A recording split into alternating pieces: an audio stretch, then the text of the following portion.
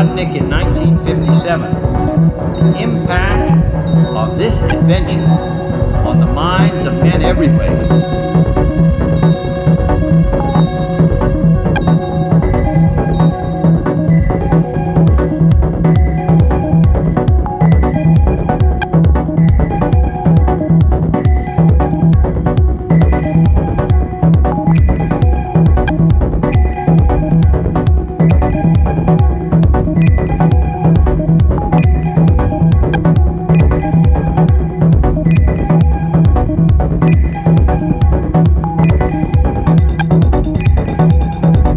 Thank you.